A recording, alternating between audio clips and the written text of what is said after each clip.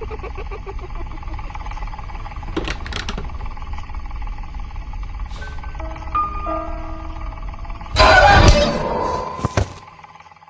to play hide and seek?